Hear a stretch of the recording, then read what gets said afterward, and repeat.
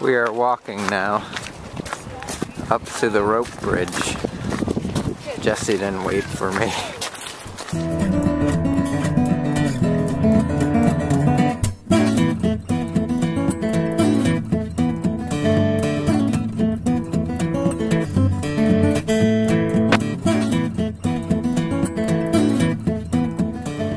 Okay, so we are at the alleged rope bridge.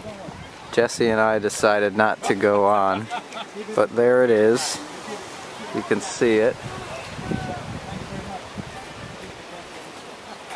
I'm actually going to go around later and uh, get a better shot at it.